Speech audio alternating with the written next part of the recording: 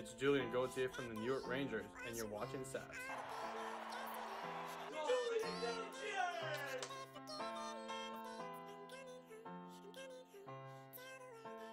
Tyler Motte, he scores! Back where I belong. run to end Yeah, I end. never nothing, Rangers.